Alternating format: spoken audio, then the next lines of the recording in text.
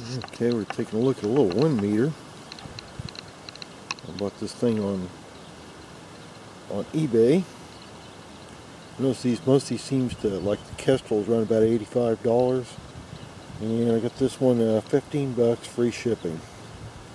So it's got some cheap little, well, it is some cheap little Chinese thing.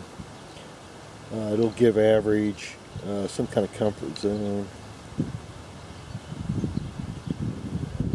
Right now, I just got to sit on miles per hour, and the uh, it does show the outside air temperature. Pretty nice out today.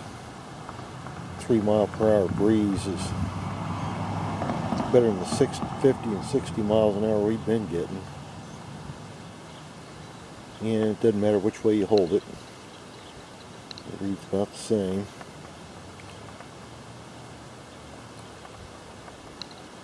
Well, we just don't hardly have a breeze at all today. I ought to be out shooting. Anyway, that's why I got this thing, so I can improve my shooting skills at long range. Takes a CR uh, 2032 battery, just like red dot sights, so so far pretty pleased. It does react to your uh, your hand, you know, holding it too much. And also, I noticed the display starting to turn color just by having my uh, coffee too close to it. So, in fact, I still, you know, there's still a little bit dis discoloration there. And the display from that. But 15 bucks. I figure uh, there's where you set the temperature.